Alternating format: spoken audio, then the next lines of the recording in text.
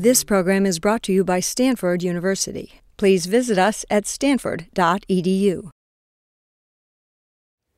Let's just review what happens if we have some quantum mechanical problem involving some discrete variable that could take on some values, uh, finite number of va values from 1 to n or something like that. Little n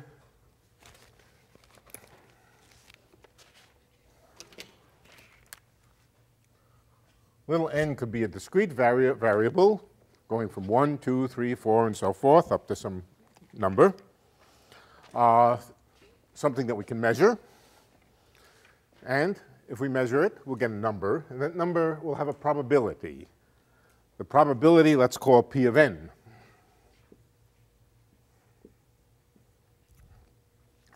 Standard rule, the sum over the probabilities should add up to 1. Total probability should add up to 1. And so always sum of probabilities should add up to 1. That's one rule. Another rule related to it, not completely disconnected, is that probabilities are governed by amplitudes. Amplitudes are related to the inner product of state vectors with other state vectors. Let's just write down one or two simple rules. First of all, the basis vectors that are associated with n, let's call them m and n, can be taken to form an orthonormal basis. That means each of the vectors has length 1, and they're mutually orthogonal. And that we can summarize by writing that that's equal to delta nm, the Kronecker delta symbol, which is 1 if n is equal to m and 0 if it's not. Now, we can always think of delta nm, which looks like it's a function of two variables, two discrete variables. We can always think of it as really a function of only one discrete variable, namely n minus m. We could call it delta of n minus m with the rule that when n minus m is anything but 0, delta of n minus m is equal to 0. If n minus m is not equal to 0, and delta of n minus m is equal to 1 if n minus m is equal to 0.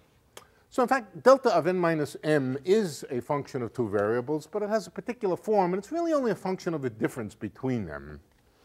0 if there's a difference, non-zero if there's not a difference. I just point that out as something to, uh, to keep in mind. If we, if we plot the probability as a function of n, then it has its values on the integers. And so at one integer, it may be one value. Another integer, it may be another value. Another integer, and so forth and so on. And it's these heights which add up to 1. That's the picture for a discrete variable. If, like the position of a particle, if the variable that we're measuring is continuous, if it can take on any real number, for example, or take on some value over a range of real numbers, perhaps from 0 to 1, or more simply, any real number altogether, then we have to change the rules a little bit. We have to think a little bit what we're doing. It doesn't make sense to ask what's the probability that the coordinate of a particle is 3. The probability that it's exactly 3 Exactly three. Oh, boy, we're getting, oh, this is a fancy, uh, please come and, uh, come and join me. I'll, I'll I will have some.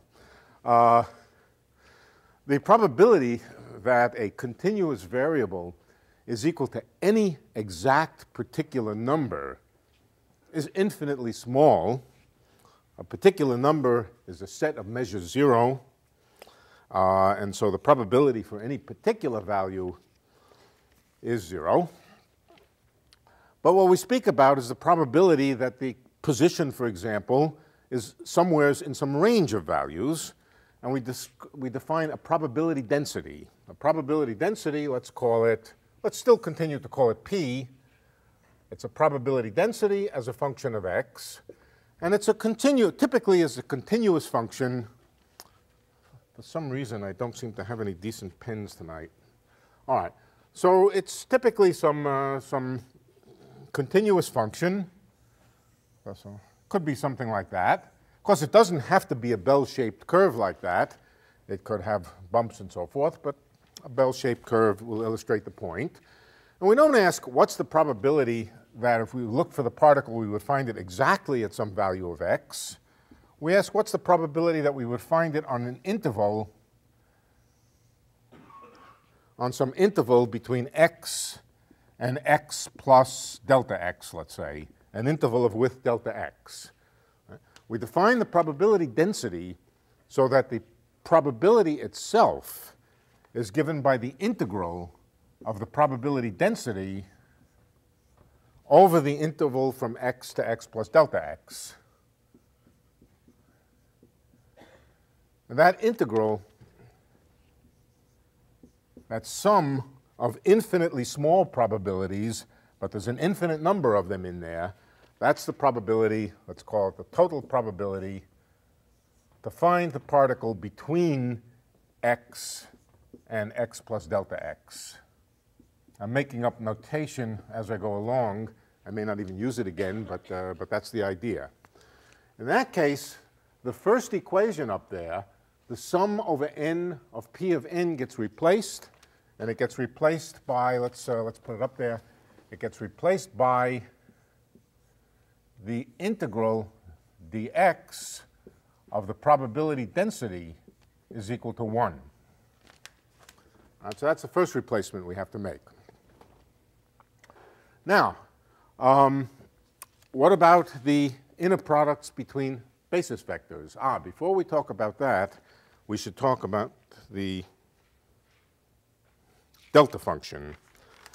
The delta function is a useful tool for studying um, analogs of these equations for continuous variables. Basically, it's the continuous version of the Kronecker delta symbol. That's what it is. It's the continuous version of the Kronecker delta symbol for variables, for a variable, for a single variable x, which is continuous.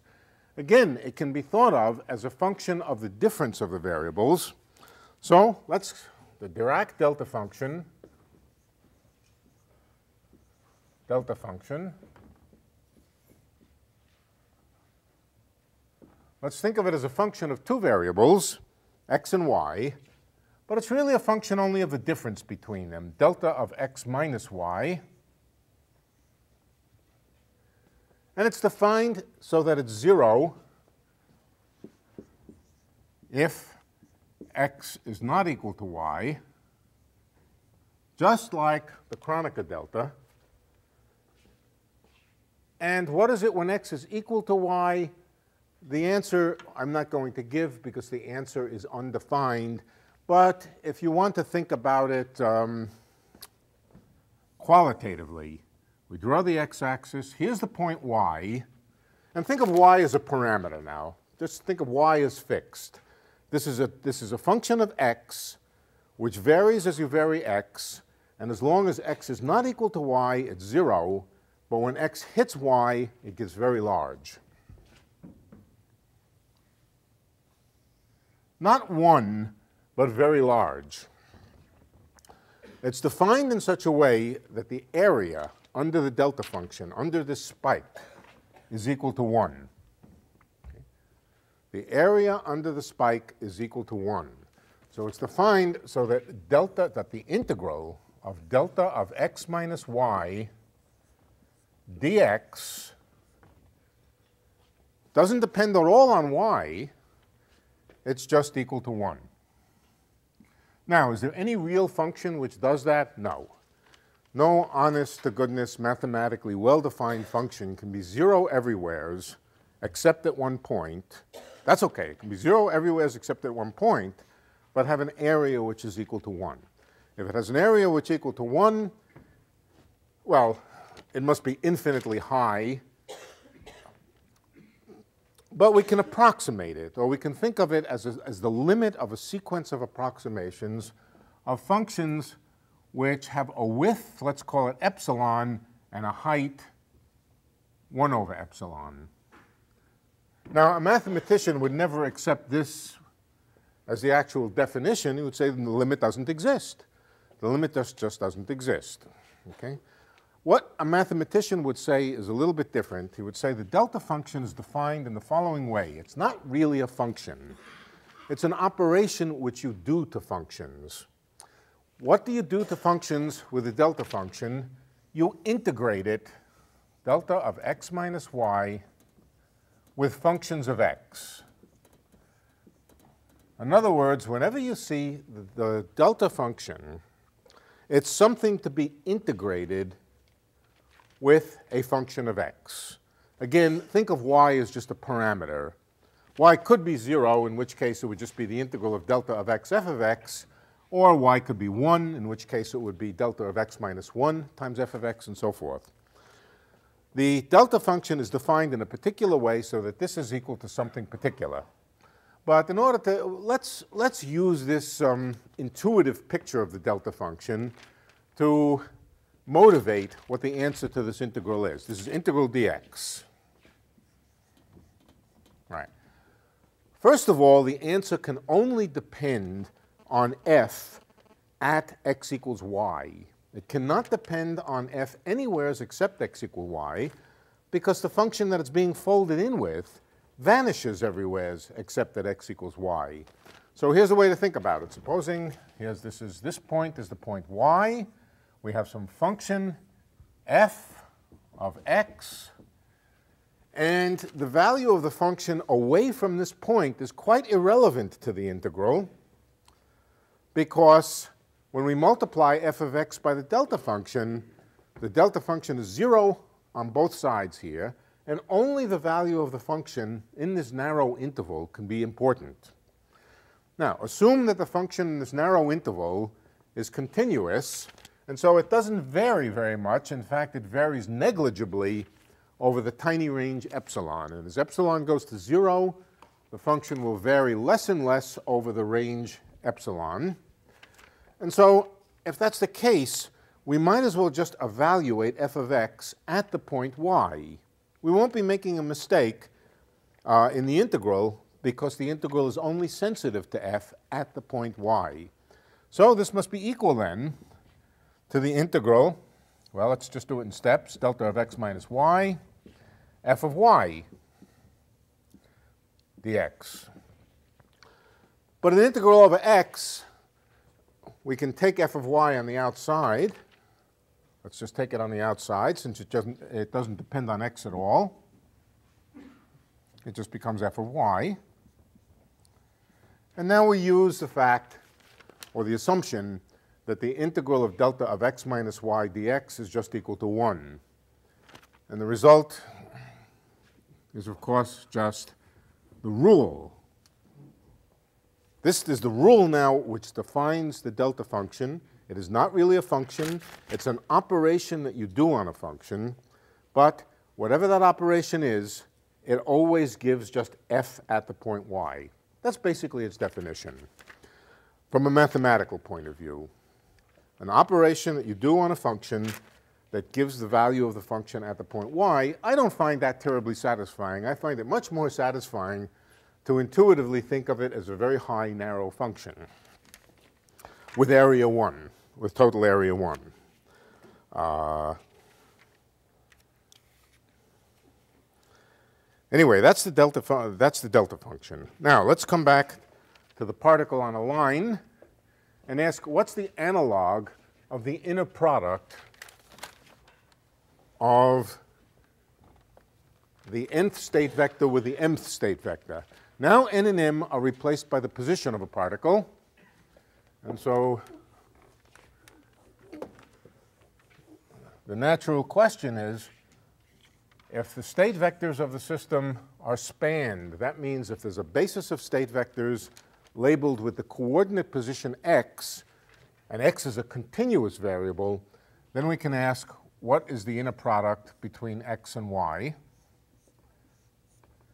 The answer is they're orthogonal if x is not equal to y.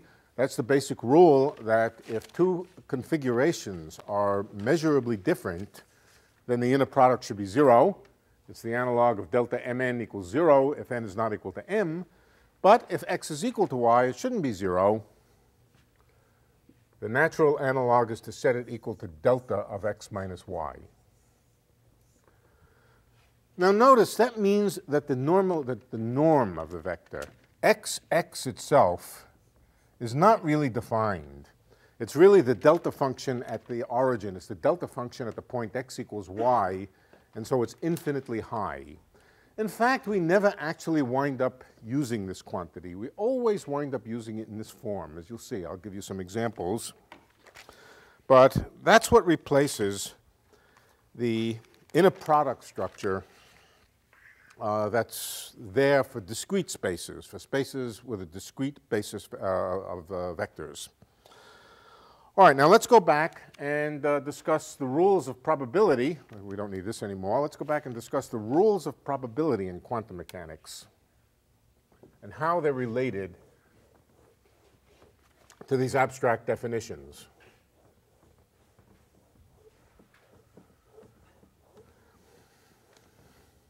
First, in the discrete space. In the discrete space, the probability in a particular state, if we have a particular state that's been prepared, the probability, P-R-O-B, probability, the probability that a measurement will yield the value n is given by, if, if psi is the state of the system, and we're going to talk about preparing states, making them, and so forth, but for the moment, Psi is the state of the system. It's a vector in the vector space. Its inner product with the discrete state n is called the probability amplitude for the state n. But it is not the probability. We have to take its absolute value and square it. Another way of writing it is that it's psi n times its own complex conjugate, which can be written as psi n n psi, not summed. No sum over n. That's the probability to uh, detect, if you like, the value n for the observable that's labeled by n. What's the natural analog of that? The natural analog for discrete, uh, for discrete, uh, sorry, for continuous systems is that the probability density, let's call it P of x now, or P, let's call it P of y. y does not represent a different coordinate from x. They just represent two values. x and y represent two values of uh, the same variable. Here's the, the line that the particle is moving on. Let's call this point x, and let's call this point y. It's not the x and y axis. It's all the horizontal axis, and this corresponds to two distinct points the probability that we find the particle at y in a given state. Now, how is a state described? It's described in terms of a function of x. But let's just, uh, let's just write it. It's given by the inner product of the state vector of the system with the state in which the particle is known to be at y. Sorry, that's not the probability. That's the thing which you square to get the probability this thing squared, which is also equal to psi y, y, psi. But that now raises the question, how do we calculate the inner product of psi with y? Now, the vector space that we're dealing with is the vector space of functions of x. Each vector is described or labeled in terms of a function psi of x, a wave function. Wave functions like this, which are complex functions which depend on a single variable, form a vector space. So they form a candidate for the description of a particle. And we've already discussed the inner product in this space. The inner product in this space, let me just write it down. The inner product between two vectors, phi and psi, is just equal to the integral dx phi star of x psi of x the definition of the inner product. So now we can apply it to calculating y psi. Let's just do it. It's equal to the integral dx psi of x and now the wave function associated with a particle known to be at y. That wave function is just delta of x minus y.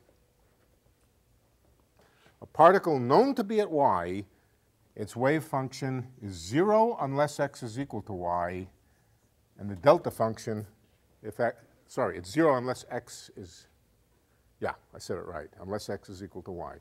So the phi vector here is just delta of x minus y. And it says the amplitude, well, it says what it says. Just, just the wave function, where did I write it? Over there. So this is the wave function of a particle known to be at y. Remember, think of y as a parameter and x as a variable. And this is the wave function of a particle known to be at y. 0 unless x is equal to y. Okay, we know the rule for calculating this integral. The rule for calculating this integral is just to substitute for x the value y. That's the definition of the delta function. That's just equal to psi of y. So here's what we found.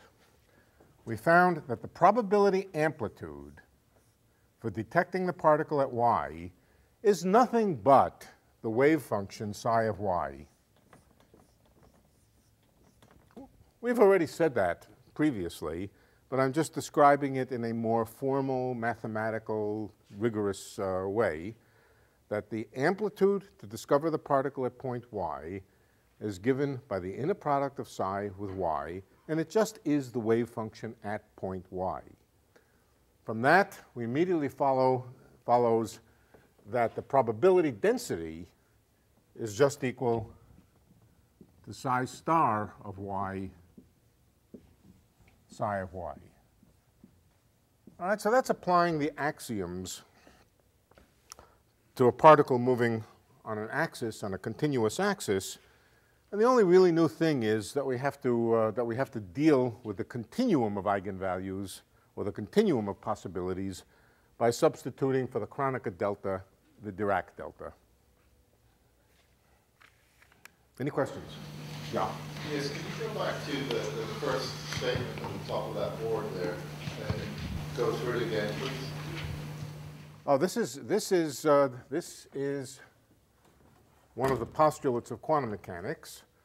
The probability, if we have a discrete set of possibilities, a discrete set of possibilities could mean heads or tails. If it were a die, it could mean one through six if it were uh, some other variable which could take on any of a discrete number of variables, then for each value of that variable, for each possibility, for each independent possibility, there's a state vector, a bra vector, and a ket vector labeled n.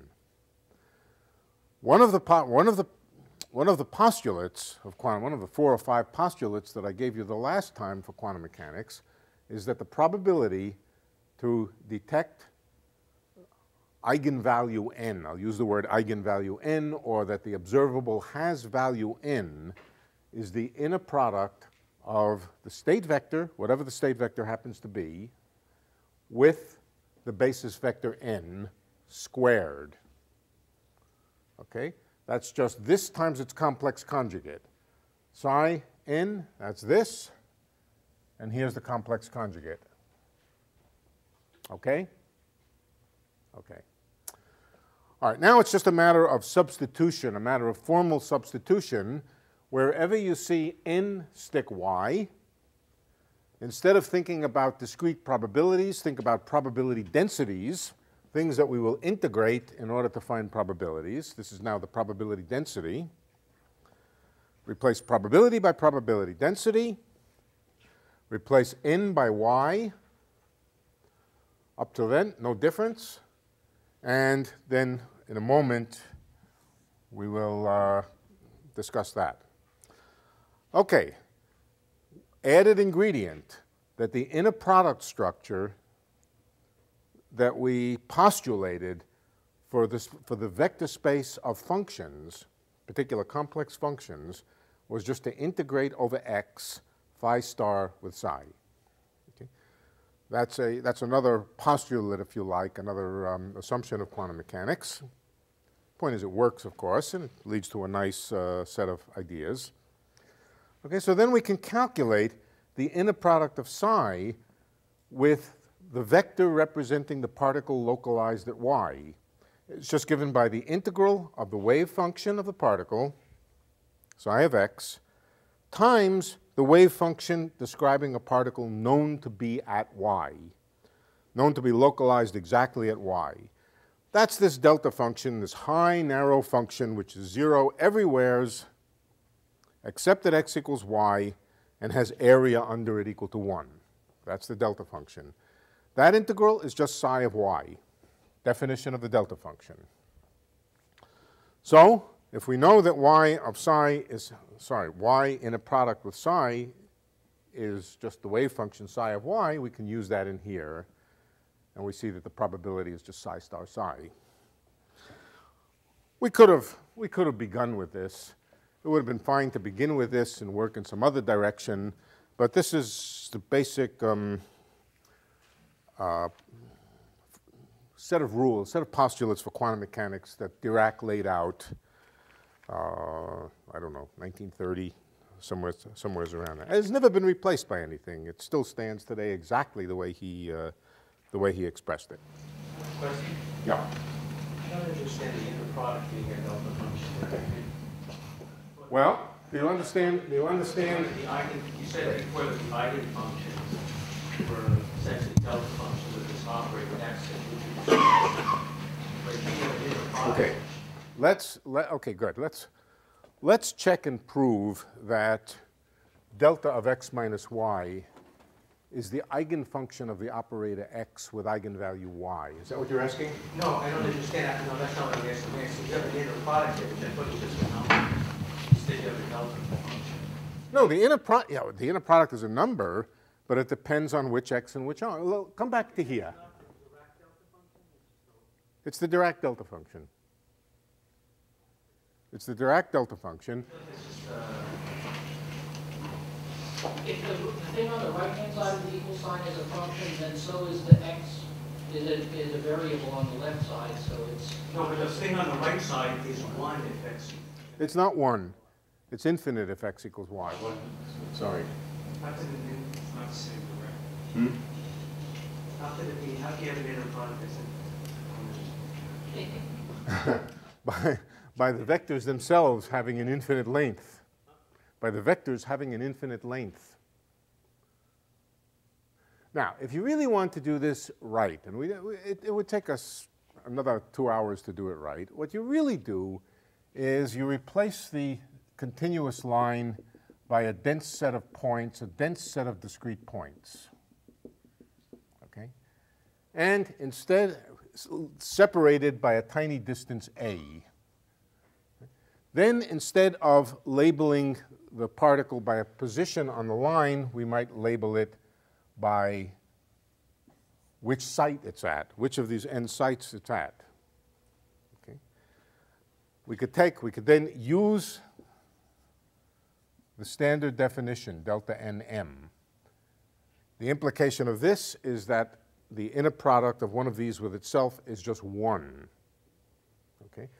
What we would do to get to the vectors x is to multiply the vectors n by a numerical value which would be 1 over the square root of a.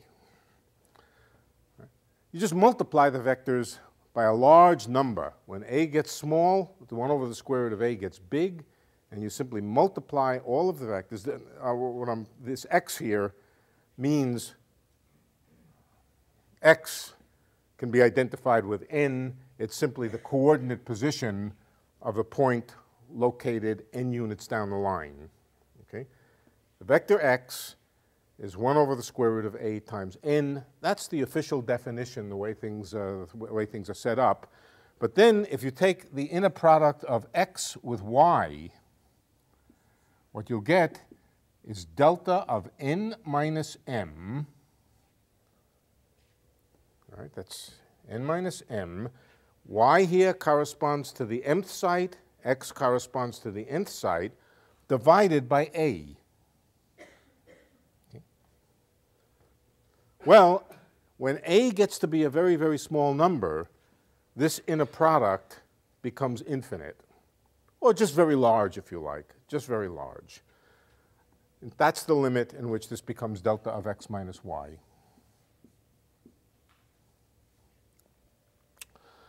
Um, you can work everywheres if you like with, with a discrete space like this, but it's useful. This is a useful definition. The point is this is a useful definition. Let me show you something else. When you integrate, when you integrate p of x dx, that's not really the sum. That's not equal to the sum of p of x. It's equal to the integral. What's the relationship between the integral of a function of a smooth variable and the corresponding discrete sum? Well, the answer is that the integral is the sum times delta x.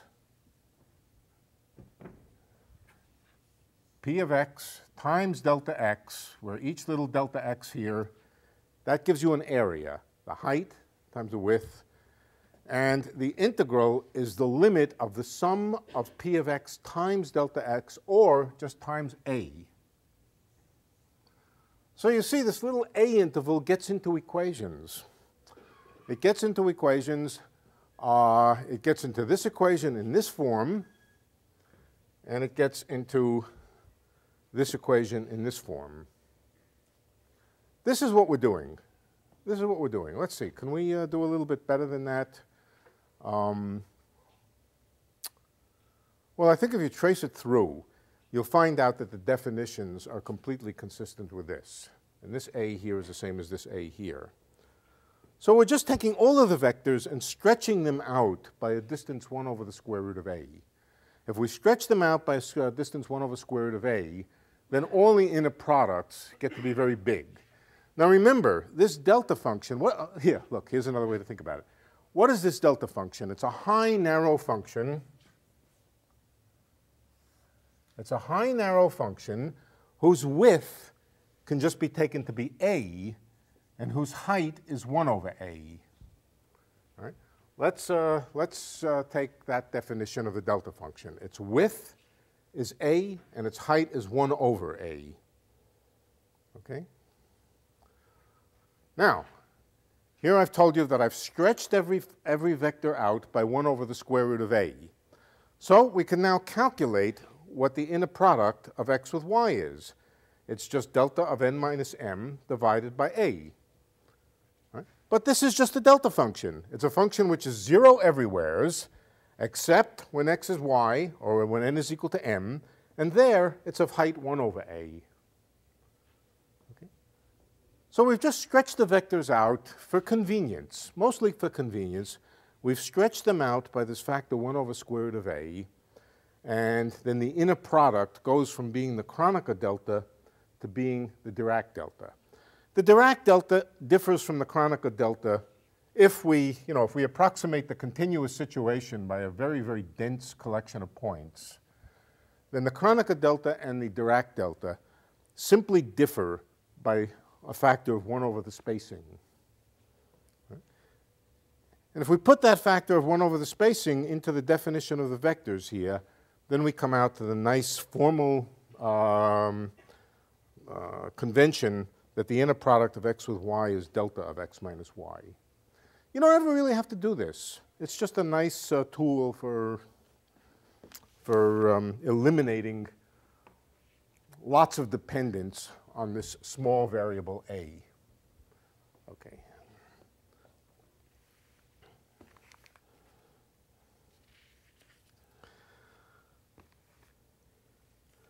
So that's the particle on a line, or the wave function for a particle on a line. The wave function is a probability amplitude, and it plays the same role as n psi in discrete quantum mechanics. All right, let's study another system. Let's study a system of a particle moving on a circular line. On a circular line, meaning a circle. Circular line means a circle.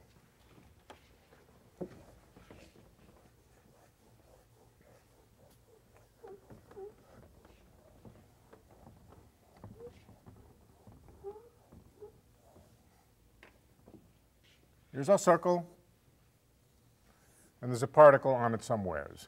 Now I'm going to lay out this circle. I'm going to cut the circle up here, or someplace. No, I guess maybe I'll cut the circle uh, uh, down here. Cut it down here, and take the entire circumference of it and sort of lay it out on a line. Just to think of it uh, as a line interval instead of a circle. What's the difference between a line interval? Well, let's, let's, let's come to it in a moment. Instead of labeling the circle with an angle, I'm going to label it with a coordinate x. Let's take the radius of the circle to be r, and the total circumference of the circle is 2 pi r. That means if I lay the circle out on a line, it goes from 0 to 2 pi r.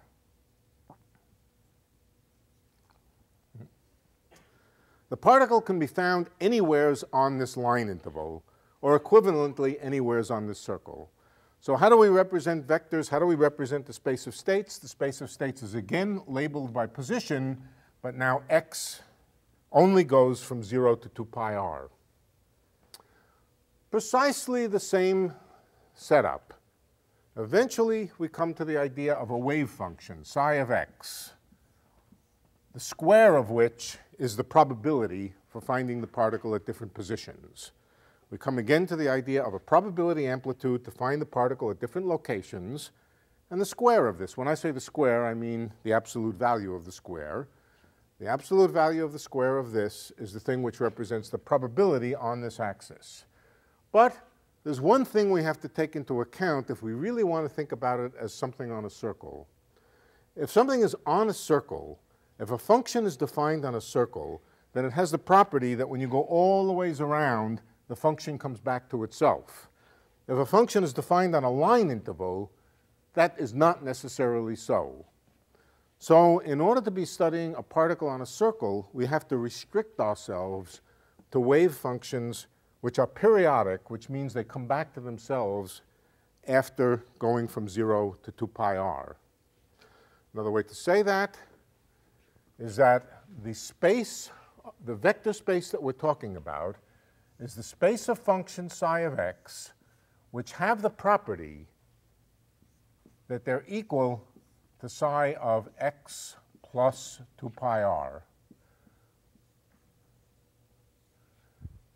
Consider the class of functions, the special class of functions, which when they start at 0 and get to 2 pi r, they come back to the same value. They're called periodic functions. Okay, special class of functions. First question is, are they a vector space? The first thing you should think of to yourself is, am I following the rules of quantum mechanics? Is this a vector space? Well, if we take a function which comes back to itself and we multiply it by a constant, any complex constant, it will still be a function which comes back to itself. A periodic function, when you multiply it by a constant, is still periodic. What happens if you add two periodic functions, each of which comes back to itself after going around the circle. The sum of two periodic functions is still periodic. So the periodic functions are a vector space, an allowable vector space for studying a quantum mechanical system. That's, that would be the basic setup for quantum mechanics on a periodic interval or equivalently uh, quantum mechanics on a circle. Okay, the last time we began to study momentum. So let's come back to momentum. Thus far, we've been studying position. Let's come to momentum. The position operator, as I explained to you last time,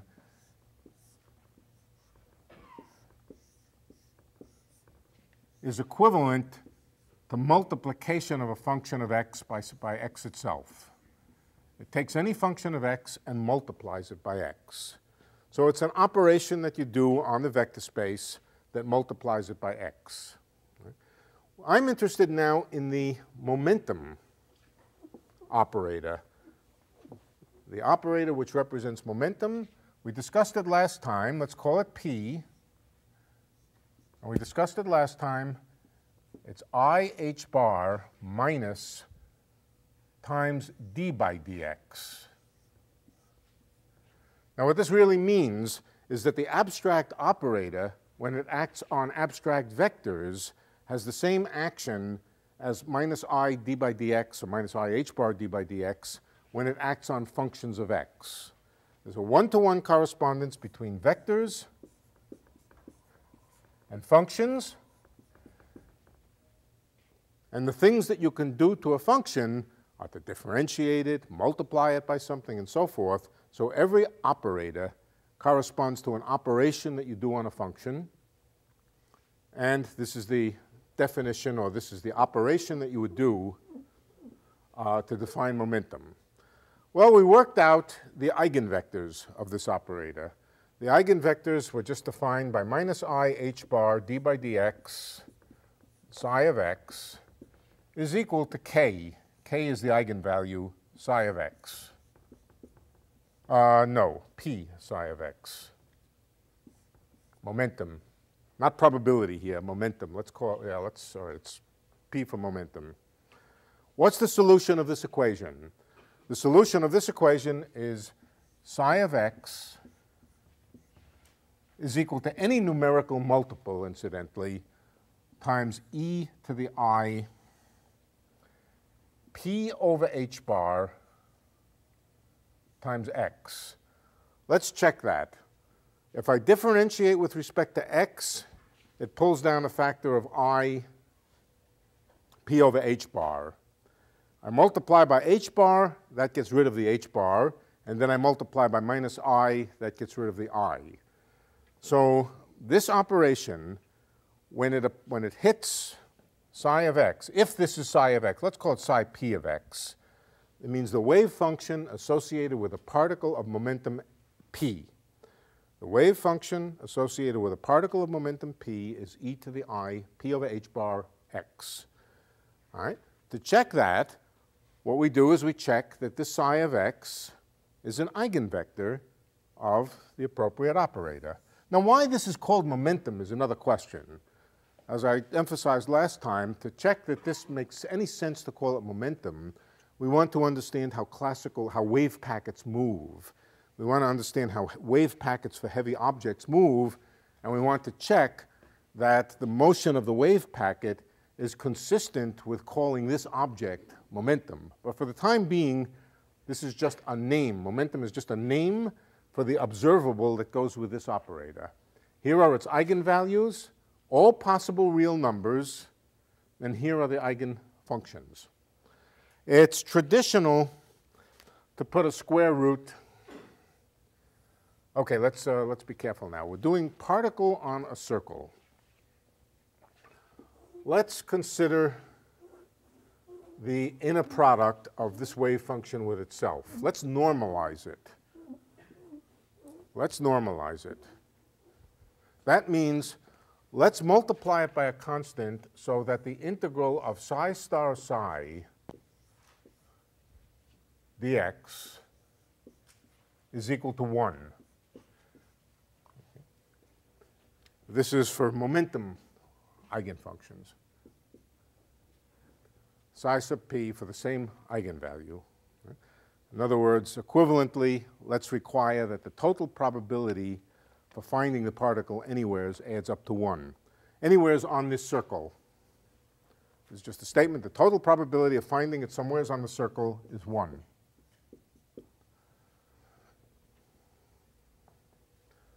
All right, what is psi star psi? If psi is given by this, what is psi star psi? It's just 1. Psi star psi is just 1. So this says the integral of 1, but what is the integral over? The integral goes from 0 to 2 pi r. From 0 to 2 pi r of 1 is certainly not equal to 1. No, it's equal to 2 pi r. So in order to get this to come out to be 1, we have to multiply the wave function by the square root, 1 over the square root of 2 pi r. It's just a number. It's just a numerical number that happens to depend on r. And if we do that, then psi star psi is just 1 over 2 pi r. This becomes integral of 1 over 2 pi r from 0 to 2 pi r, and now it is equal to 1. This is just something to keep track of, that it's uh, convenient to normalize these wave functions so that their norm, so their inner product with themselves is equal to 1. Doesn't play any great role in what I'm going to say, but it's nice to uh, get the formulas right. Okay. What about the inner product between wave functions with different values of p, say p and q.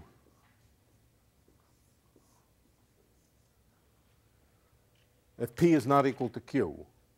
Well, then the answer is zero, and you can check that just by knowing the properties of exponentials like this. But the reason that we know it is because the eigenvectors of Hermitian operators with different eigenvalues are always orthogonal. So this is, a, this is something that you can check, that the integral of e to the i phx, e to the minus i qhx, or whatever, that that's equal to 0. But that follows from the Hermitian property of the operator p, which we checked last time. We checked it last time by working out uh, the property of being Hermitian. Okay, so now we have the wave functions for these particles, but there's something we haven't uh, we haven't guaranteed yet. We haven't guaranteed this periodicity here. Thus far, a general wave function like this is not necessarily periodic. The space of states that we're interested in is the space of periodic wave functions. So let's ask, what is the constraint? What do we have to do to restrict ourselves only to those wave functions which come back to themselves? Well, the answer is that if we take e to the i p over h bar x, and we add to x 2 pi r, that it had, had better just be e to the i p over h bar x. In other words, after x makes an excursion of 2 pi r, it must come back to itself. That's the condition of periodicity. It's the condition that the wave function is really on a circle and not on a line. All right, well, this is equal to, of course, e to the i p over h bar x times e to the i p over h bar times 2 pi r, just the property of exponentials, and that has to be equal to e to the i p over h bar x. We can cancel this out. And our rule is that e to the i p over h bar times 2 pi r must be equal to 1. That's a restriction on the possible values of momentum. That's a restriction on the possible values of the eigenvalue so that we actually are in the appropriate space of functions. If we choose p to be anything other than something which sets this equal to 1, it's not an allowable wave function because it's not periodic. It's not really on a circle. The condition that this is equal to 1 is the same as saying that p over h bar times 2 pi r has to be an integer multiple of 2 pi. e to the 2 pi n, where n is any integer times i, is equal to 1 and only if n is an integer is this equal to 1. e to the 2 pi i is equal to 1, e to the 2 pi i to the nth power is equal to 1.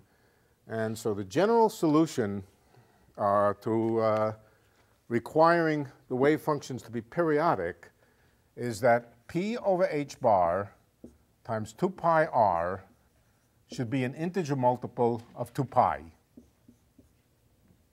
We can cancel out the 2 pi. We can divide by r. r is just the radius of the circle. And what it tell and we can multiply by h bar. It tells us that the allowable values that the momentum can take on are integer multiples of h bar over r. Let me write, let me clean that up. The allowable values of the, of the momentum are integer multiples, now I forgot what I said, integer multiples of what? h bar over r. If we choose any other values of p in this wave function, it won't be periodic, and it will not correspond to motion on a circle. So what we learn, among other things, is although the position on the circle is a continuous variable, the momentum is a discrete variable. The momentum is a discrete variable, and it can only take on integer multiples of a certain quantity, h bar over r. Now, as the circle gets bigger and bigger, as r gets, what, what's the, uh, let's, uh, let's plot the possible values of p. Here they are, they're discrete. n equals 0 could be over here, n equals 1, n equals 2, but the values of p are n times h bar over r. So that means the separation between different values this is not a separation in space. It's a separation of the um, possible values of momentum. They're separated by amount h bar over r as r gets bigger and bigger, if we, well, if we imagine a bigger and bigger circle, which means that this line goes from zero to some very, very large size, then the spacing between the different values of momentum gets smaller and smaller. And eventually, any value of momentum, or very dense value, or a very dense collection of momentum become possible. So by making the circle very, very big, and tending toward the situation where it becomes an infinite line, in that limit, the momenta, the possible momenta, become anything. But if we're actually on a circle, if we're actually talking about a particle moving on a circle, then the momenta are quantized. Quantized means that they come in integer multiples of some particular value of momentum. That's, the, that's always the origin of discreteness in quantum mechanics. Uh, discreteness of various things which in classical mechanics can take on any value and in quantum mechanics only take on discrete values, energies and things like that, always has to do with some periodicity and the wave function having to be periodic. Let's uh, go one step further. Let me just remind you from classical mechanics, if we have a particle moving on a circle, it has an angular momentum. The angular momentum is called L. We worked it out last quarter, and it can be written in a number of ways, but one way that it can be written is the tangential component of momentum, let's just call it P, it's the component of momentum along the circle, which we've called P, times R. Angular momentum is momentum times distance, or the moment arm of the momentum. What does that say the possible values of angular momentum are? The possible values of angular momenta are r, that's this r here, times the possible values of p, which is nh bar over r. So we see before our very eyes that angular momentum is quantized in units of h bar. Incidentally, angular momentum and h bar have the same units, uh, units of length times, uh, times momentum, action it's called. Angular momentum comes in integer multiples, and it doesn't matter how big the circle is. However big the circle is, the size of the circle canceled out of this. And we found out, quite independent of the size of the circle, the angular momentum is quantized. Angular momentum always comes in discrete integer multiples of, uh, except when it comes in half integer multiples, but that's another story for another day. Okay. Angular momentum is quantized in quantum mechanics.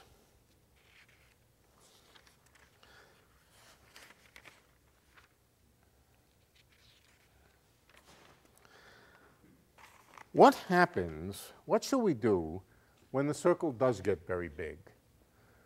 The circle is a convenient uh, starting point for studying particle on an infinite line just by making the circle bigger and bigger and bigger eventually it approximates a particle on an infinite line. But as I said, in that limit, the spectrum, the collection of eigenvalues of momentum becomes denser and denser. In other words, it approaches a continuum. The discrete spectrum of momentum becomes continuous. What was the spacing between different momenta? It was h bar over r. h bar over r was the spacing between the different momenta here. And as r gets bigger, they get denser and denser. And in that limit, we start to use the continuum notation. Instead of describing, uh, instead of describing vectors p, which have inner products which are Kronecker deltas, we stretch them out, we stretch them out, and p and q represent two different momenta, and use the Dirac notation, p minus q. In the limit where the, um, where the line gets so big that basically every value of the momentum is possible, in that limit we want to think of the momentum as a continuous variable and just use the notation of Dirac delta functions. We don't really do anything new. We just uh, stretch out the vectors by 1 over the square root of this distance here, stretch them out, and replace the Kronecker delta by the Dirac delta. There's not much physics in this replacement of the Kronecker delta by the Dirac delta. It's just a convenience and a trick uh, to be able to pretend that this is a continuous function, which it is not, of course. As R gets uh, tends toward infinity, would you then expect the regression back towards classical mechanics? No, not well. In in one respect, only in the respect, in the respect that the possible values of momenta become anything. But that does not mean we go back to classical mechanics necessarily. In fact, we'll discuss that right now.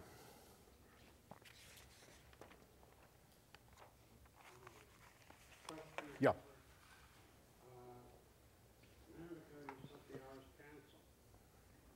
In the angular momentum, if I multiply p times r,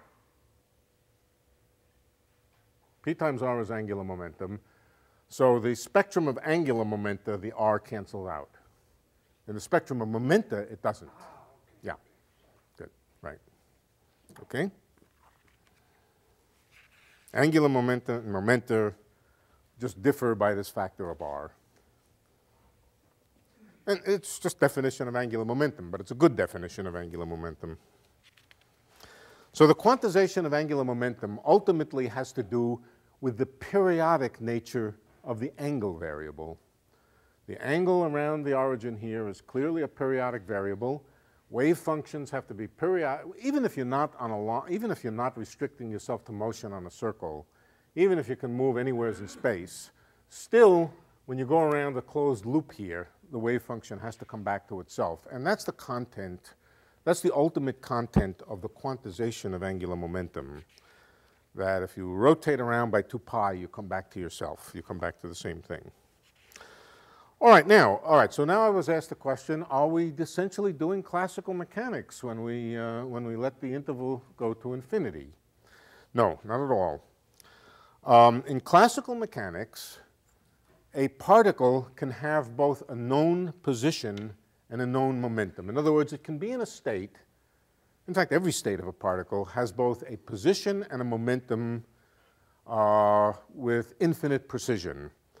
Position and momentum are simultaneously specifiable.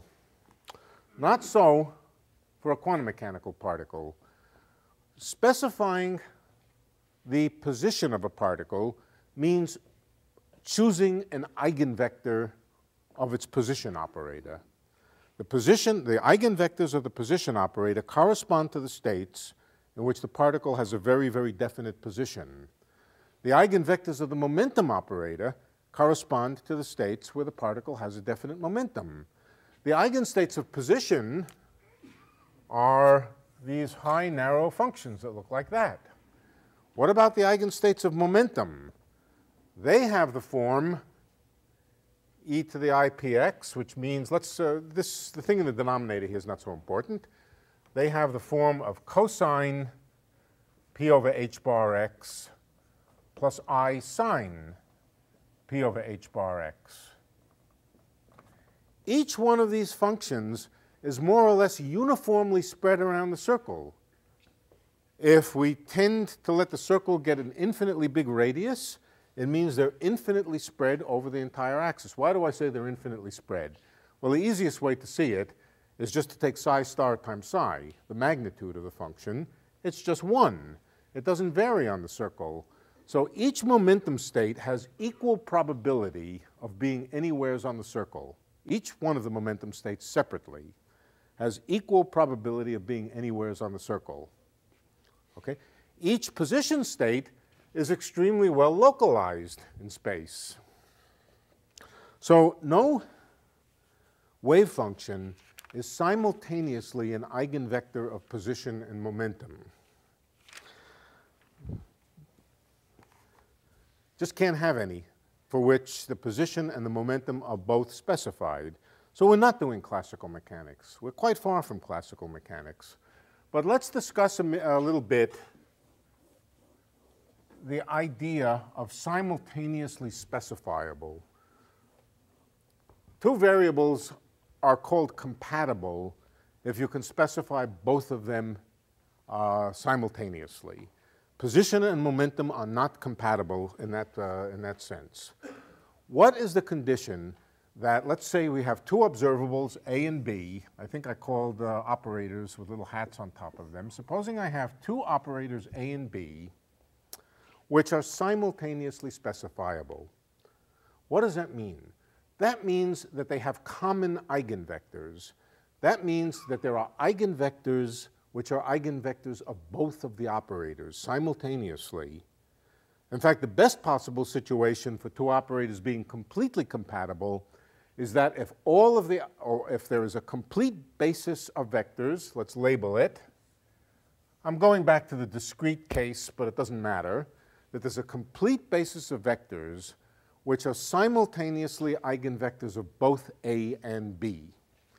Then each one of those eigenvectors both A and B can be specified and can be, uh, can be definite.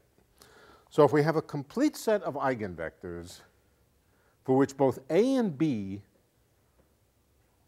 we have a complete set of eigenvectors which are simultaneously eigenvectors of A and of B, then A and B are compatible and they can both be known by simply putting the system into one of these combined eigenstates.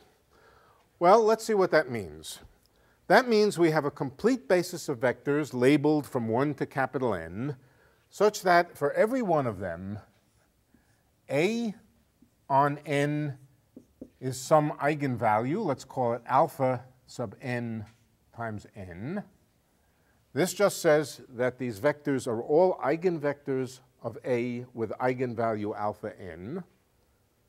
The first vector has eigenvalue alpha 1. The second one has eigenvalue alpha 2. But simultaneously, the same set of vectors, exactly the same set of vectors, are also eigenvectors of B. With eigenvalue, let's say beta n times n.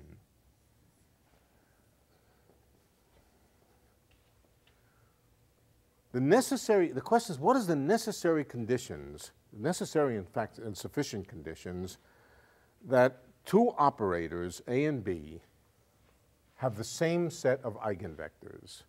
So in order to motivate the conditions, let's, let's study what happens if you multiply A times B and then act on N. What does that do? Well, we know what B does when it acts on N. It just gives us the eigenvalue beta N times N. So we can rewrite this as A times the number beta n. Now this is a number. Beta n is not an operator anymore. Times n. Beta n is just a number. We can take it out, put it on the left-hand side of the, uh, of the operator A. And so that becomes beta n A times n.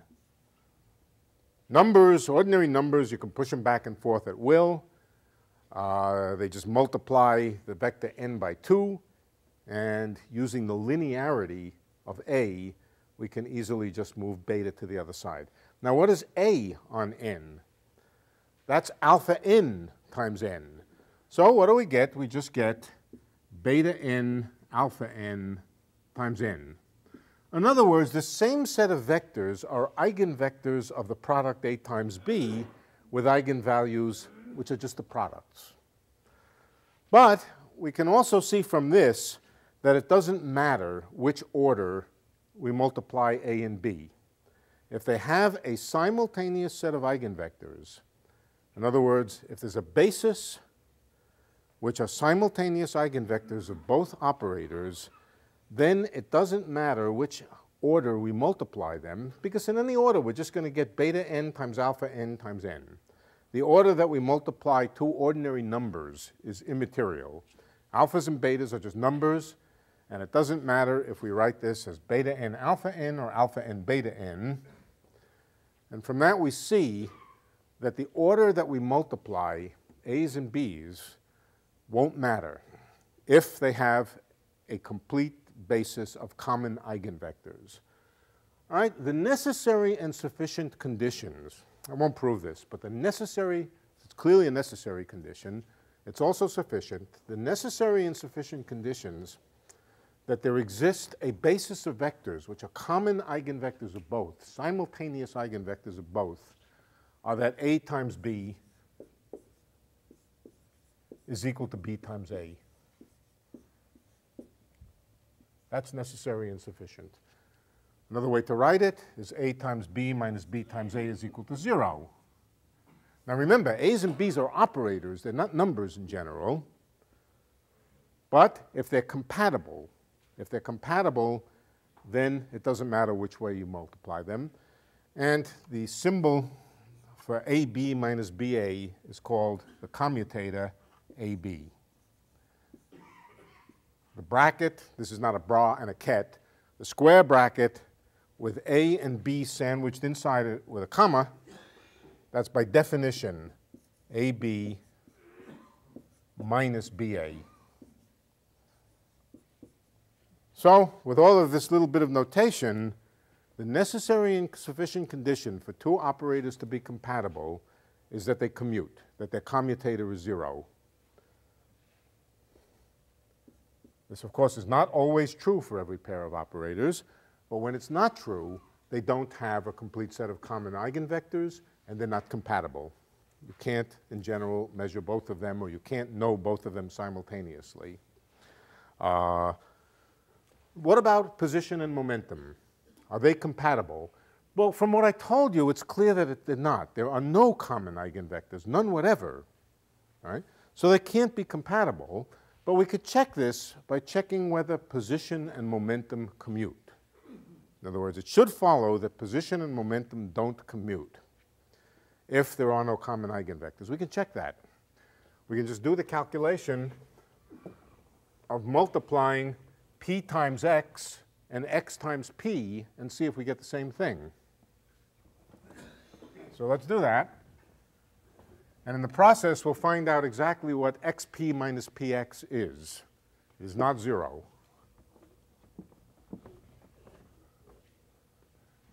So let's work it out. Here's what we want to calculate.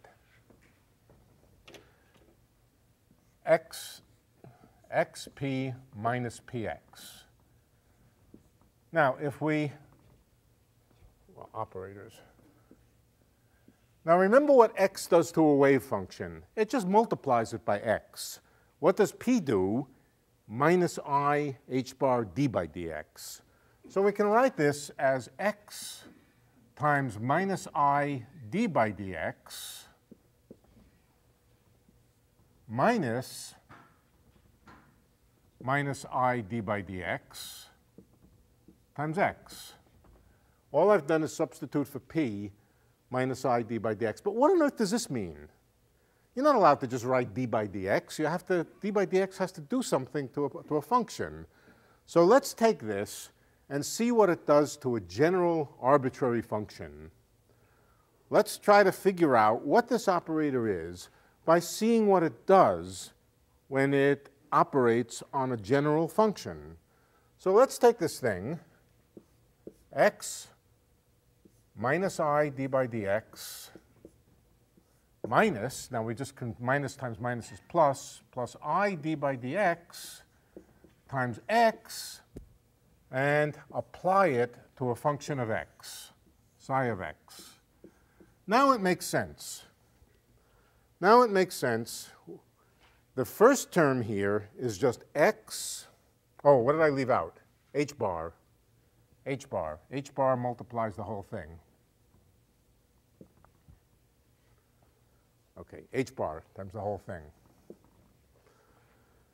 x times minus i d by dx times psi of x. Remember, when you multiply operators, a, b, and you apply them to vectors, you first apply b, and then you take what you get and you apply a to it. Okay, so here it is. We first apply minus i d by dx to psi. Let's take these two terms and work them out separately. First of all, we get h bar, and then this term gives us x minus i d psi by dx. All I've done here is apply this d by dx to psi. The x is to the left, so it doesn't get differentiated. Only the psi gets differentiated, and then we multiply it by x. In the other term, we have plus i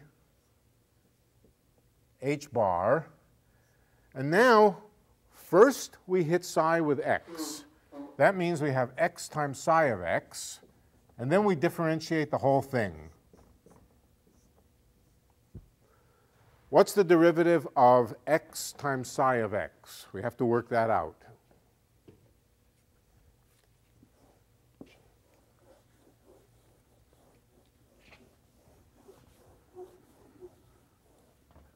The derivative of x times psi of x has two terms.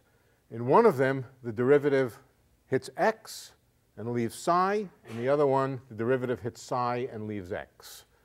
So just this piece of it here, i h bar, gives us dx by dx, that's 1 times psi of x, plus x d psi by dx.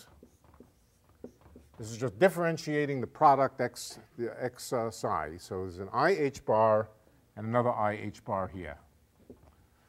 Let's see what we have. We have minus i h bar x d psi dx, and then we have plus i h bar x d psi by dx. They cancel. In other words, the term that you get when the derivative hits psi cancels this one here. So that cancels. We can just forget this and forget this. All that's left over when you do this operation is i h bar psi of x. So here's what we learned.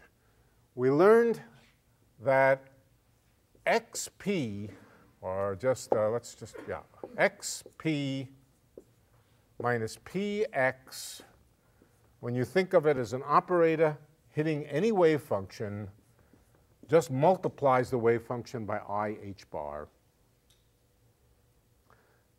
In other words, this thing does exactly the same thing as multiplication by a simple number, a simple complex number i h bar. One writes this by saying that the commutator of x and p, xp minus px, is equivalent to or is equal to multiplication by the number i h bar. Xp minus px is i h bar. Now, as a classical equation, that's nonsense x times p is equal to p times x. But as an equation for operators, operators don't necessarily commute. The order in which you multiply them counts, just like matrix multiplication. What this is telling us is that x and p are operators which don't commute, and the worst possible situation, incidentally, is when the commutator on the right-hand side is just a number. That's as bad as any uh, commutator can be, and it is the reason that there are no common eigenvectors at all. There are no common eigenvectors. If there was a common eigenvector, then at least if you were to put that common eigenvector here, then at least when it acts on that common eigenvector, you would get zero. But there are no common eigenvectors, and uh, that's an indication of the fact that the commutator is just a number. It's as bad as it can be. Okay, let's uh, stop for a minute and yeah. That seems that, that the, every vector is an eigenvector of the commutator. Every vector is an eigenvector of the commutator. This is true. That is true. With its same eigenvalue. Yeah, true.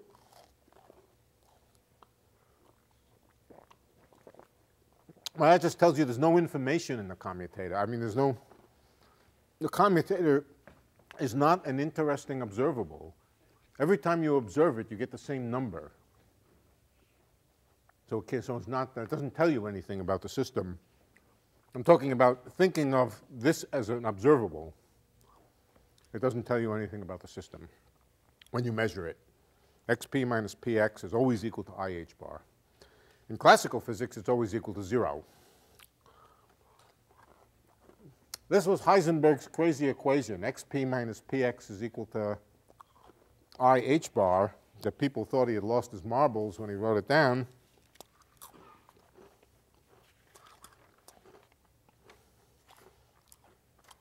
Maybe he did lose his marbles, but in any case, uh, it's a correct equation. Another question. Yeah. Going back to the way you define eigenvalues and eigenvectors. Yeah. uh, It seems like x times, x times any vector is just x times that vector, so why isn't our vector an eigenvector? No, because x is not a number. Yeah.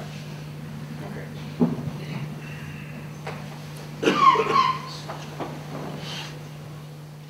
Here's what, it would mean to be an eigenvector.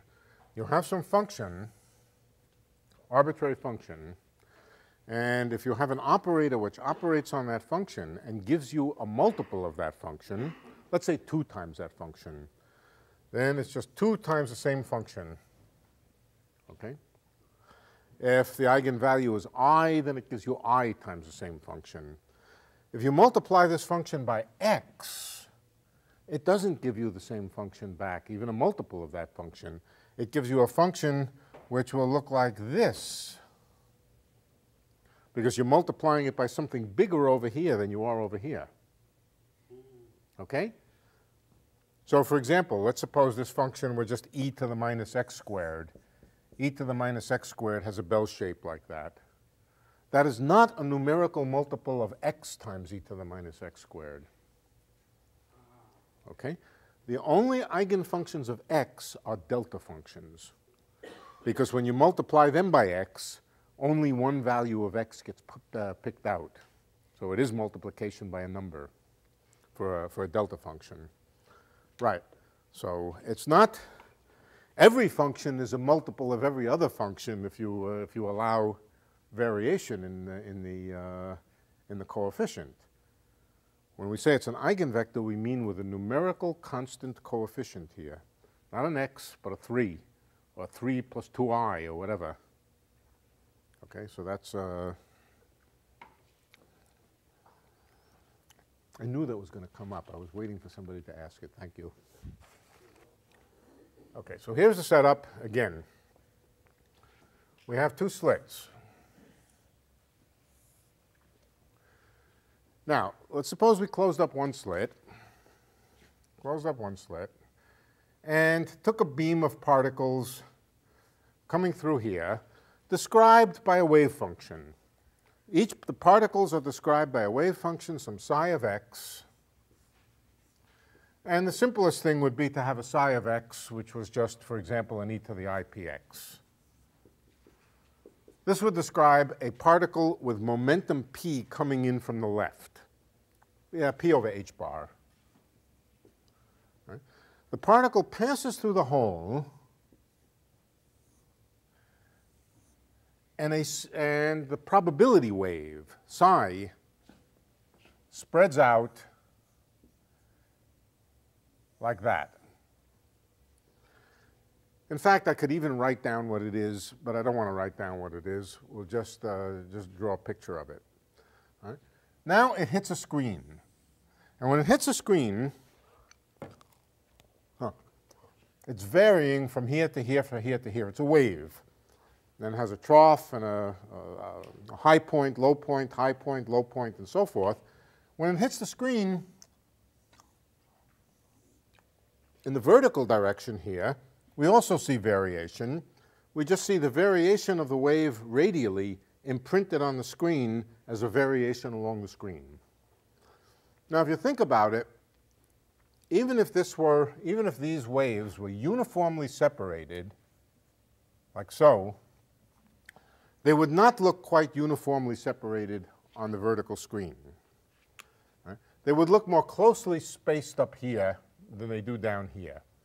Just try it out. Take a, a, um, a compass and a piece of paper, draw some concentric circles like that, and you'll see that they get more closely spaced up here than they are here.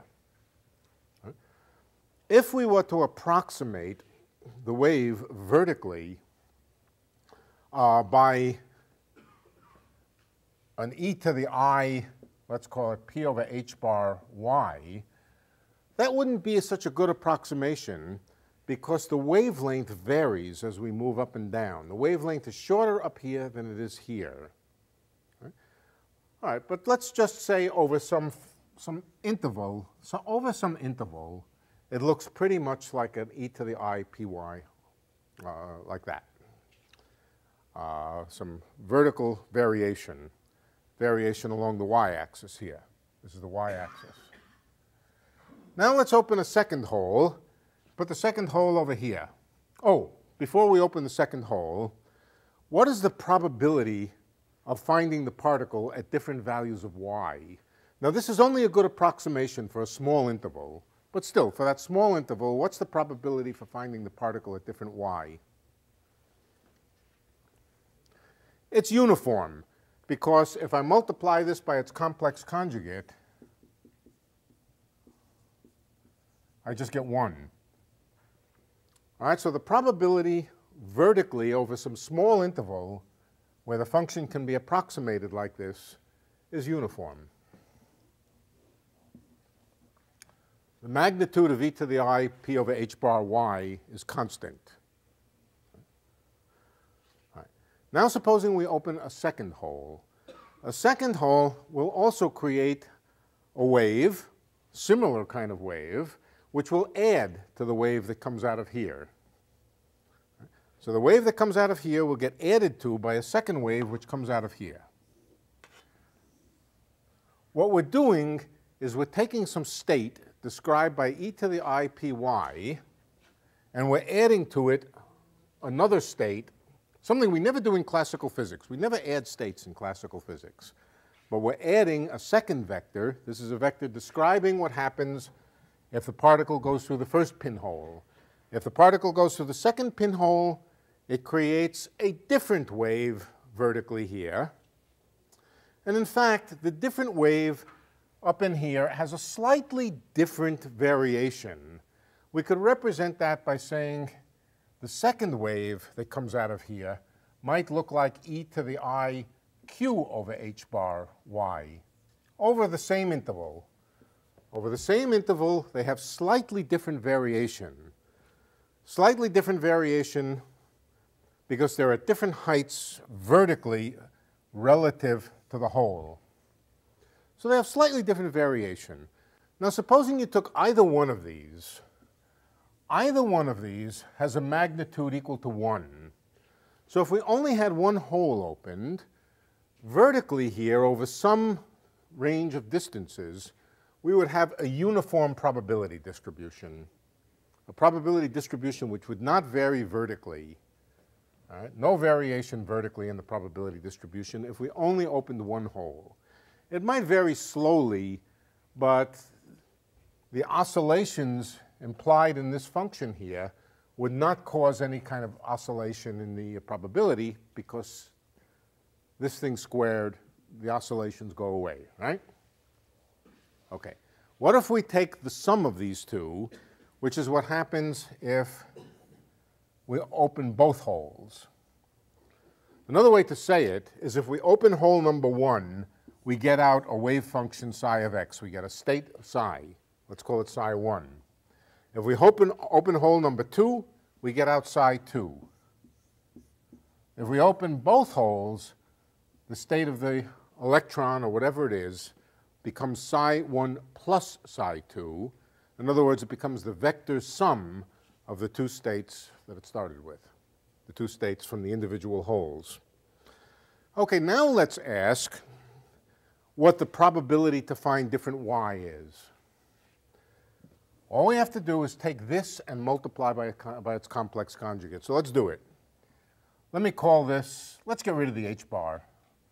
Let's work in units where h bar is equal to 1. We get tired of writing it. So it's e to the i py plus e to the i qy. But then we have to multiply it by e to the minus i py plus e to the minus i qy. What have I done? I've taken the wave function and multiplied it by its complex conjugate. Okay? If I only had one of these, then the, then the uh, probability would be uniform along the y-axis, either one. But now I have both of them. Let's calculate this. e to the IPY times e to the minus IPY. What's that? 1. We also have e to the IQY times e to the minus IQY. That's also 1. So the terms e to the IP times e to the minus ip and e to the iq times e to the minus iq altogether give us 2. Then we get plus e to the ipy e to the minus iqy. That's coming from this term times the far term over here.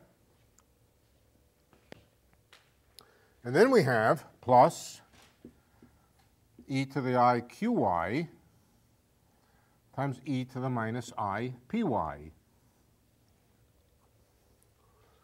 Or to write it slightly differently, this is twice e to the i p minus qy, 2 plus, excuse me, 2 plus plus e to the minus i e to the i q minus py.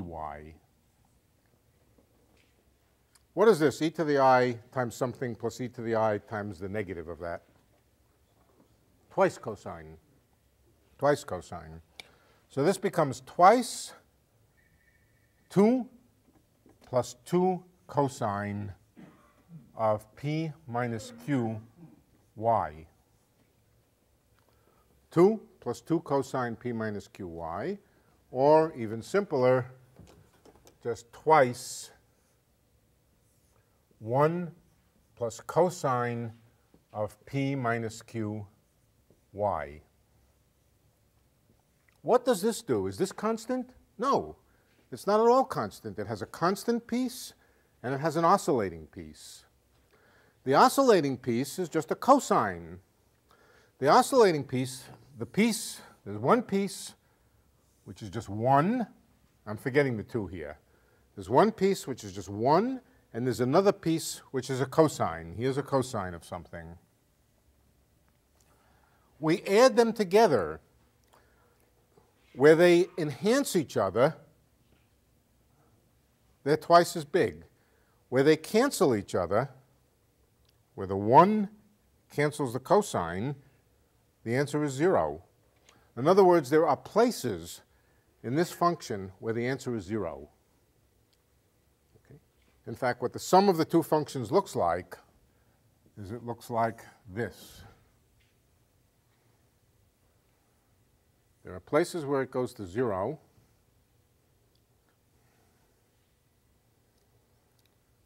What does that mean? That means if we open only one hole, the probability distribution is uniform. If we open the other hole, the probability distribution is uniform. If we open both holes, there are places where the probability is zero, despite the fact that uh, that particles could get here quite easily if we opened only one hole. So opening both holes makes it harder to get to this point here than opening either one of the holes. This is the puzzle, or the puzzling, not the puzzle, but the puzzling phenomenon of interference, and it's a particle phenomenon. In other words, it's a phenomenon that happens even if we only let one particle through at a time. One particle through at a time, if we open one hole, we get a constant probability distribution. If we open out the other hole, we get a constant probability distribution. If we open both holes, we suddenly find that there are places where you can't get to. That's the significance of adding states, psi plus phi. Psi plus phi can have a complicated dependence even though the probability for psi and phi might be perfectly smooth. So interference, oh, notice, notice how important complex numbers were here. Well, I, we've already We've already discussed the importance of complex numbers in, uh, in momentum, in having a momentum, e to the i p dot x. If we didn't have complex numbers, we could ha never have an eigenvector of minus i d by dx, obviously. Okay, um, uh, questions. Let's stop for questions now. Yeah.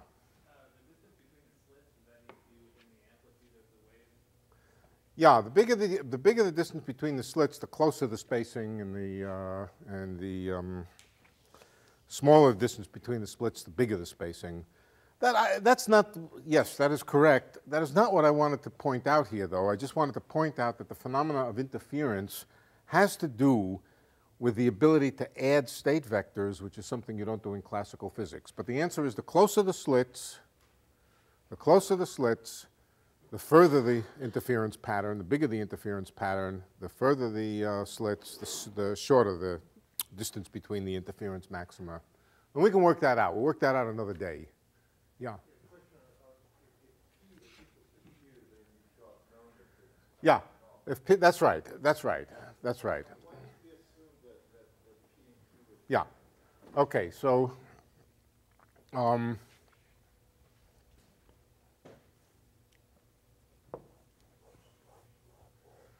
If you let a wave go through a hole,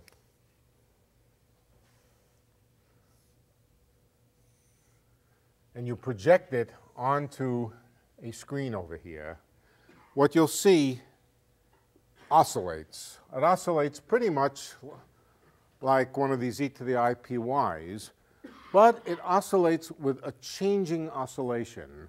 So for example, over here, let's just take, uh, I'll, draw it as an oscillation. Of course, it has a real and imaginary part, but the oscillation will have a longer wavelength over here than it does as you move out. The wavelength will get shorter as you move out. You know why? Okay, I'll tell you why.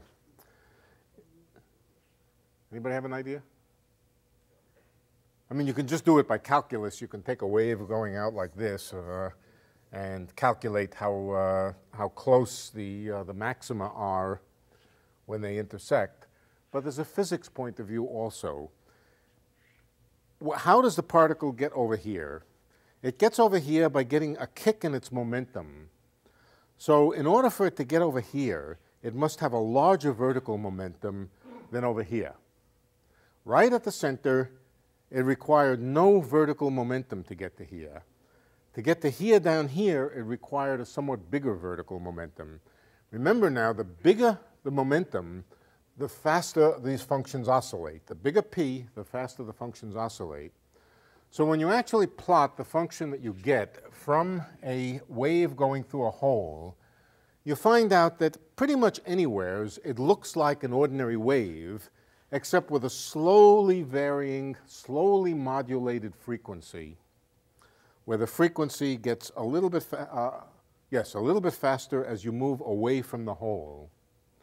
Now, now you take the second hole and you open it over here. Right? At this point, in this region over here, the vertical frequency due to one hole is a little bit different than the vertical frequency due to the other hole because they're at different height here.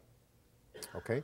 So it's just like superposing, taking this wave and then superposing a replica of it, shifted, you'll be adding together two waves of slightly different frequency, just because from a single hole, the frequency varies as you move vertically.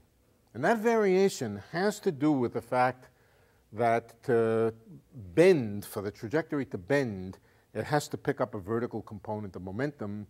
That extra vertical component of momentum makes it vary a little more rapidly down here.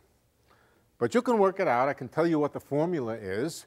If you, if a wave goes through a hole over here, and let's say that hole is at the, uh, the vertical origin, then the wave that comes out looks something like e to the i p r. r is radial distance divided by r. r is radial distance here.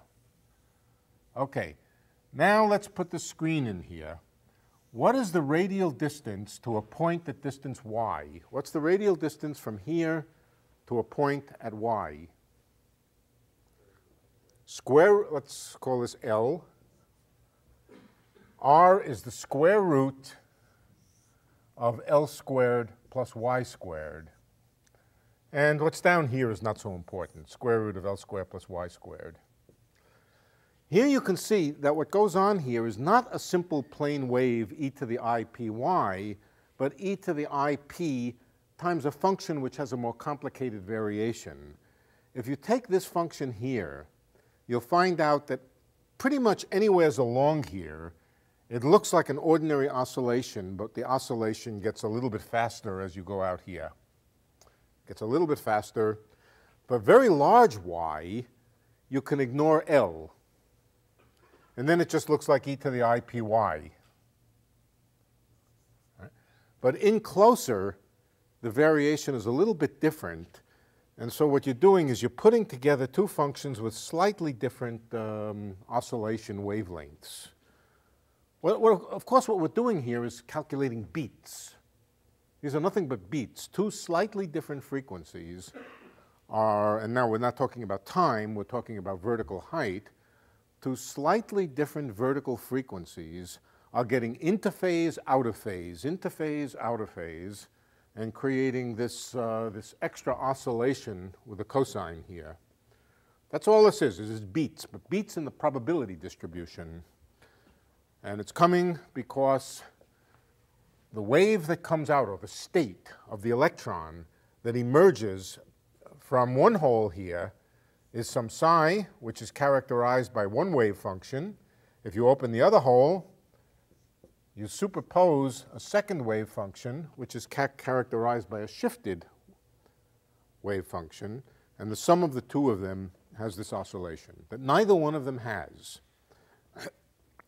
neither one of them has an oscillation in the probability. Together they have an oscillation.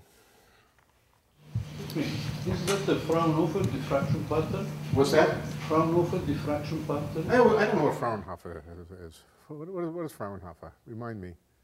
I forget what Fraunhofer is. It's just a diffraction pattern. Yeah, it's just a diffra yeah, it's a diffraction pattern. It's the diffraction pattern in this case of two holes. Right. Mm. Okay. Now, somebody asked me about um, the, the distance between the, uh, the maxima if the two holes are very close together, then you're adding functions which are almost identical.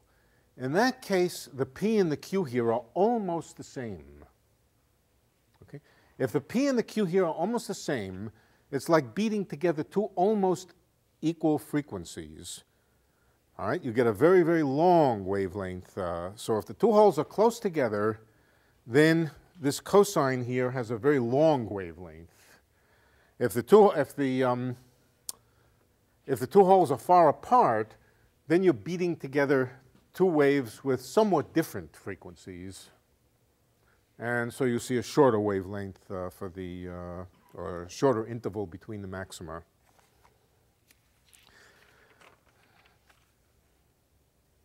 Any other questions? You know, Yes.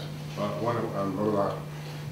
You know, when you put the detector, uh, Say it again? You put the detector there at the hole, Okay. you can get to that one? We certainly have not gotten to it yet because in order to get to it, we have to talk about a composite system. The composite system now being the electron plus the detector and talk about the concept of entanglement between the detector and the, uh, uh, and the electron. Right. So what's being discussed here, which I'm not going to talk, well, I will talk about it, but I won't, uh, I won't derive it now because we have to understand how to combine systems together. At the moment, we're talking about a single electron, or we're talking about a sequence of experiments, each one involving a single electron.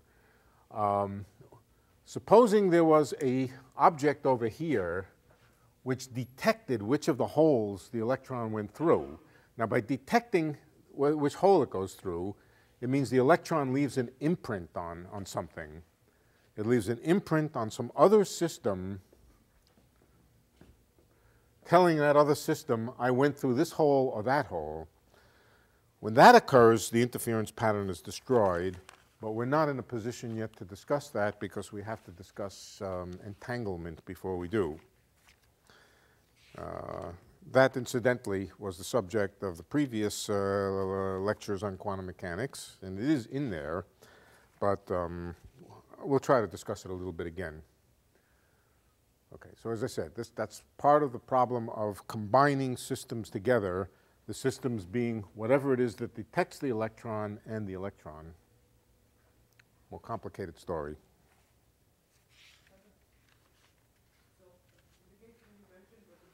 Wow. When the particle deviates from the horizontal, you mentioned that it gets a vertical peak in momentum. Wait, say, say it again now? Oh. When the particle devi- deviates from the horizontal, Yeah. it has to get a peak. Well, in order for it to deviate from the horizontal, it must have picked up some component of y momentum. All right? If it picked up a component, some significant amount of y momentum, or another way to say it is if it doesn't deviate from the vertical, it must have meant that there was no y momentum. And in fact, that must mean in this location over here, the function is varying particularly slowly, which it is. All right, the slowest variation over here. In order for it to get out here, it must have gotten a kick. To get a kick, it now has a y component of momentum, and the y component of momentum means that it has a certain oscillation over here. So where does the energy come from? Oh, there's no energy to change the momentum. The energy is proportional to the square of the momentum, and the square of the momentum hasn't changed. Um, it's uh, roughly speaking like uh, bouncing. Well, you have a you have a, uh, a target over here, a stationary target which doesn't move, and you bounce a ball off it. The ball changes direction, but there's no loss of energy. So that means the x momentum would, would correspondingly decrease. Yeah, yeah, yeah, yeah, yeah, exactly. That's right. The magnitude of the momentum, the magnitude of the momentum is determined by the distance between these uh, maxima and minima in the radial direction. That is just the original same spacing as the spacing that came in. Spacing that goes out is the same as the spacing that came in. So the wavelength coming in is the same as the wavelength going out, but it's converted into a spherical wave. But when projected, when projected onto the vertical axis, you see a variation in the, uh, in the frequency vertically. And that corresponds to having picked up some, uh, some vertical momentum. And as you say, that would also imply that the horizontal component of momentum must be a little bit less up here than it is down here. That's a good point. Uh, no other question? Yes. Yeah, uh, so a question on, on the, so, so we have a wave function that's now hitting both poles essentially. right? That's right. Wave function? Right. Uh, so it's, it's, it's- is it meaningless then to talk about a, a a corpuscular particle going? Mean, Well, we're sending through one particle at a time. Out of the electron gun, one particle at a time is coming through. One particle at a time doesn't make a wave-like pattern like that. It just makes a spot on the detector. But we do it many, many, many times, and we discover that there's a probability distribution on the detector here. So each event consists of a spot on the detector. It's only the accumulated effect of many spots on the detector that will create a pattern on here. And the pattern will be the pattern that looks like this. Notice one thing. This is always positive. Positive or zero is negative nowheres, cannot be negative. That's because we multiply the thing by its complex conjugate. So the probability distribution is never, never negative, but it does vary, and it varies uh, in some places is equal to zero. Yes? How, how does this compare to like uh, the interference of light? Well, the interference of light is a special case. Light consists of a large number of photons. Photons are particles. They satisfy the same rules as electrons. If we attenuate the beam of light, for example, by sending it through a series of filters which filter out almost all the light, then we'll find out that very few photons are coming through, and what we'll see is a flash, a flash, a flash, a flash, eventually building up to the pattern of, uh, of the, of the wave-like interference. If, on the other hand, we send a lot of light through all at once, well, then we'll just see the, uh, the probability distribution uh, as, a, uh, as a pattern sort of created all at once. But that's just because a lot of particles came through all at the same time. So uh, we see the particle aspects if we slow, not that we don't slow the particles, but we, um, uh, yeah, we decrease the number so that they're coming through one at a time, let's say 10 years between photons, and we see a blip every 10 years. Well, they come through randomly, but let's say on the average once every 10 years. Then we see a blip, but if we wait a thousand years, then those 10 years per blip blips add up to a, uh, add up to a, um, an interference pattern. So as I said, we're not going to explain strange quantum phenomena, but this is the description of them. Yes? I'm still having trouble with the one-hole experiment. The wormhole. And trying to understand where the oscillation comes from, the, the limited oscillation you see somehow. Well, you don't see an oscillation from just one hole. Um, What do you see on the screen? Or what's the prob, the distribution of probabilities on the screen from one hole? It's just a blob. It is a blob. Yeah. Uh, right. In the, all right, what you, uh, well, the question is, what does a wave function look like? So let me, let me uh, roughly write down what the wave function looks like. It looks like an E, oh boy, I must remember to tell them to put fresh pens. Can, can that be seen? Not very well, I'm afraid. All right. Probably red is better than uh, blue, I imagine. Let's try it.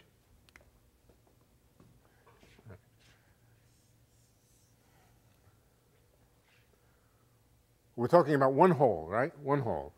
So basically, for one hole, you see some kind of e to the i uh, times some function of x, which is not exactly x, uh, px, but it's something like px, uh, times a another function, let's call it rho of x, where this is a rather smoothly varying thing.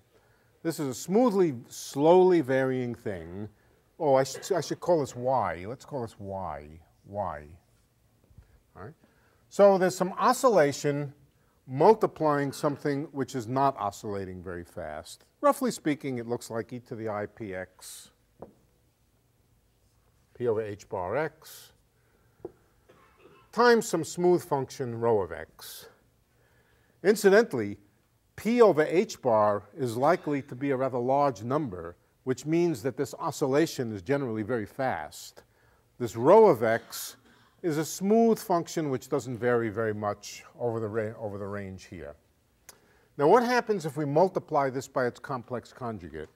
If we multiply, and this is a real function, this is real. This is, here's where the imaginary parts come. If we multiply this by its complex conjugate, then this goes away and we just get rho of x squared. Okay? And rho of x squared is a nice smooth function, and we see no oscillations from one hole being opened up. Rho of y. Rho of y. I keep writing x, but I keep meaning y. Rho of y. Now, if we, and of course, as I said, this isn't exactly e to the i p y. You can think of it as a slowly varying p as you vary up and down here. So there's a p which varies slowly as you vary as you move up and down here, times a nice smooth function. But then you open a second hole, and the second hole is some e to the i, let's call it p prime or q over h bar y times another smooth function, a second smooth function rho of y, where the second smooth function might just be the first smooth function slightly displaced. Okay? Slightly displaced because you lowered the hole. Either one of these, if you were to square them, you would not see the oscillation. But when you add them together and square it, then you see the beats between, the, uh, between these two things. So one by itself, you see no, uh, no interference pattern. Uh,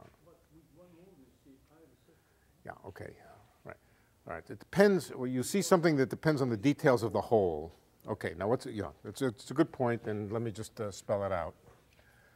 If the hole has rather sharp edges, right, then what you see is a wave coming out of here, but you also see a wave that got produced right at the edge. The sharp edge created a little wave around the sharp edge, and the other sharp edge creates another wave around the sharp edge, and it's almost as if you had two holes. If the edge is not so sharp, if it's a kind of fuzzy hole, then it doesn't, uh, it doesn't create uh, an interference pattern. Then the interference pattern of the single hole is not there. It's true, a single hole can make a, uh, an interference pattern by scattering off the two, uh, by scattering off the different parts of the hole. Uh, and that's correct. Yeah, yeah. But it's quite distinct from this. It's different, uh, right, right. Yeah, you see some circles, but the circles are different than the interference pattern that you see because of the two holes. Right. Mm -hmm. So in the two-hole situation, shooting one electron through at a time, there are places on the screen that will never be hit. That's right. The two holes are open. Zeros are, that, Yeah. watch the spots forever, there'll never be any Yeah.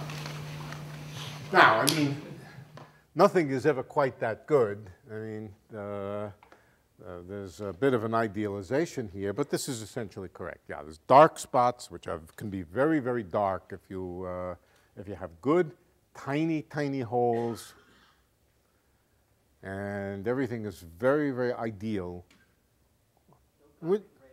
Hmm? No cosmic rays, no, uh, no, no noise in the room. Everything is, uh, is you know, as, as, ideal as possible. Then you can see some pretty dark interference uh, spots in there. And those uh, dark interference spots are for, uh, in an idealized situation, there would be no particles sitting there. Yeah. Is there a difference if the two holes are at the Uh, as long as the two holes are small. If the two holes are small, then it really doesn't matter whether they're uh, uh, identical or not. If one hole is big and the other is uh, small, then of course it'll make a difference. But uh, yeah, small compared to the separation, right? And the wavelength. It's also important that everything, yeah, it's also important that everything be small compared, or small, or not too much bigger than the uh, than the wavelength of the light. Yeah, I, I, say electrons, but if you were to do this experiment in the laboratory, you'd want to use photons. Yeah. Uh, photons have much longer wavelength. I mean, light, ordinary light, has wavelength many, many times longer than the typical wavelengths that you can make for electrons. It's hard to make long wavelengths for electrons. But uh, in principle, if you could, uh, if you could create electrons with uh, long wavelengths, you could do pretty much the same thing. Long wavelengths, what does long wavelength mean? It means very low momentum. Very low momentum means very slow. Right? How do you make very, very slow electrons? It's not so easy because where do you get electrons from? You get electrons out of hot wires, for example. The hot wires eject the electron with some velocity. How do you get very, very, very slow electrons? Not so easy to get them. So if you want to make long wavelengths, you want very slow, and it's not so easy to get very slow. So the slits are likely to be large compared to that. What's that? The slits are likely to be large compared to that. For electrons, yes. The, oh, uh, you need to make the slits very, very small and very, very close together to see this. That is true. So even, even optically, even optically, you, uh, you need to make the slits pretty close together. Uh, you can, they're visibly close together. They're not so close together that you can't see them, but, uh, but you need to make them close. Yeah. independent of the source, you can change the source and you still get the same effect. If you change, yeah, yeah, pretty, yeah, you get the same source, you see? Yeah, you get the same effect. Um, once the electron comes out of the hole here, it pretty much forgets what it was doing over here, and it just becomes an electron which was produced over here. It becomes an electron which was shot out from that point. That's the idealization, that you can approximate the electron as an electron ejected from exactly that point or exactly that point. Okay? An electron ejected from this point or from this point uh, add up to a wave which has this kind of interference pattern. Yeah. Uh, There's a way to bring the same electron back. Say it again? Same- If there was a way to bring the same electron back, it still would get the same effect. If there was a way to send the electron back. No, Once it has gone out, Yeah. the same electron somehow could be s- cycled back through the hole. Through the hole here. Yeah. Are you- Wants to recycle. Circuit. Well, you, wait, you want to cycle the electron through one hole and back through the other? No. You can do that. From the screen. The first issue of reversibility. Oh. Oh, oh, oh, oh, you want to know what would happen if the electron passed through and then you reversed everything? Is that what you're asking? After you recorded it on the screen, Oh, yeah. and that, that actual electron somehow could be, come back through. Well, um, you could imagine that the electron bounces off the screen, leaves a little spot there and bounces off, and then you could, uh, of course, you could then try to focus that electron back through the hole. You could do that. And you would get the same kind of pattern on this side. I think he wants like a cyclotron. No, I- you want a cyclotron? No. I don't think you want a cyclotron. You can use the same electron over and over. You can use the same electron over and over. You can collect the electron from here, bring it around, bring it through the hole, whatever you want, and do the experiment over again with the same electron. Oh yeah, you can definitely. You can use another electron, or you can use the same electron. The last time you told us that if you, if you detect it, then that changes it. If you don't detect it, If you detect it over here, that changes it. Yeah. Oh, no, if you detect it at the hole. Ah. Okay. Um, let's come back to that. you, you. Now you're asking the question about reversibility. That's a different question than whether you can use the same electron over and over for the same experiment. Okay. That's, all right, let me come to that next time. Let me come to that next time. It involve, in fact, let me come to that after we talk about Hamiltonians. We have to understand Hamiltonians and evolution before we can answer that question. Yeah.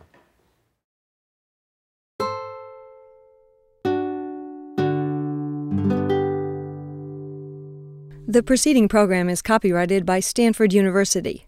Please visit us at stanford.edu.